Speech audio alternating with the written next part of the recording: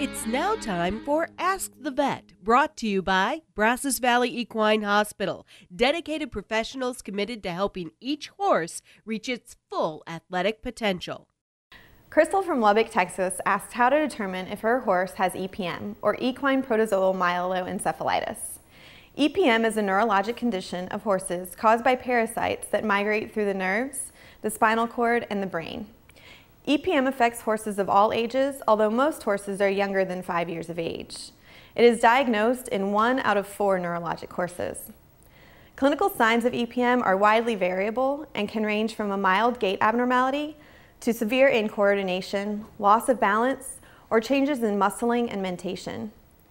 Diagnosis is made by a veterinarian who will first perform a full gait and neurologic evaluation of your horse taking into account his behavior, ability to interact with his environment, symmetry of facial features and muscling, and the way your horse moves. Once a horse is determined to have neurologic deficits, the most commonly performed diagnostic tests include radiographs of the neck and blood tests for viral causes, such as West Nile virus. Diagnosis of EPM is complicated, as many horses that are exposed to the parasite do not become neurologic, but will test positive. Therefore, there are specific tests performed on blood or cerebrospinal fluid submitted by your veterinarian to determine the likelihood that your horse has EPM.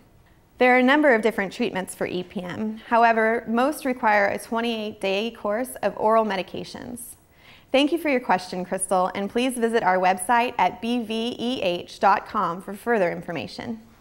Ask the Vet, brought to you by Brazos Valley Equine Hospital, now with three convenient locations in Texas Navasota, Rockdale, and Stephenville.